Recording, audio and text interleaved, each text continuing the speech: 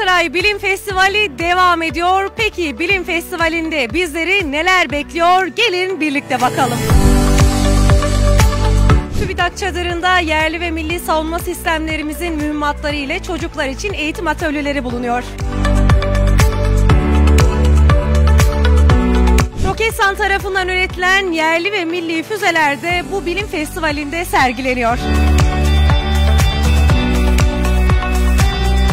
Göklerdeki gururumuz 5. nesil savaş uçağı Kaan'da Aksaray Bilim Festivali'nde yerini aldı. Uzaydaki gururumuz TürkSat çok kısa bir süre sonra 6 uydusu ile beraber uzaydaki yerini alacak ve dünyada 5 milyar kişiye hitap edecek. Jandarma Genel Komutanlığımızın muhabere ve bilgi sistemleri de burada sergileniyor.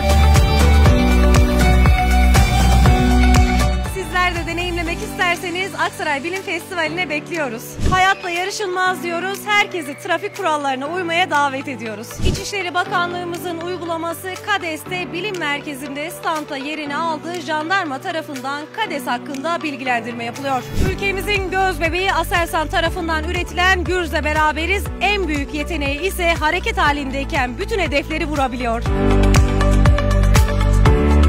Festivalimizin sevimi robot köpeği ile beraberiz. Bize şu an sevgi gösterisi yapıyor ve pati vermesini isteyeceğim. Merhaba.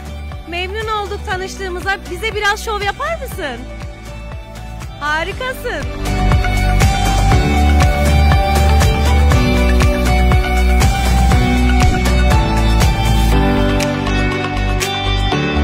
Gökyüzündeki savaşan şahinlerimiz F-16'lar. Şimdi simülatörüne bindik ve gerçek F-16 hissiyatını şimdi yaşayacağız.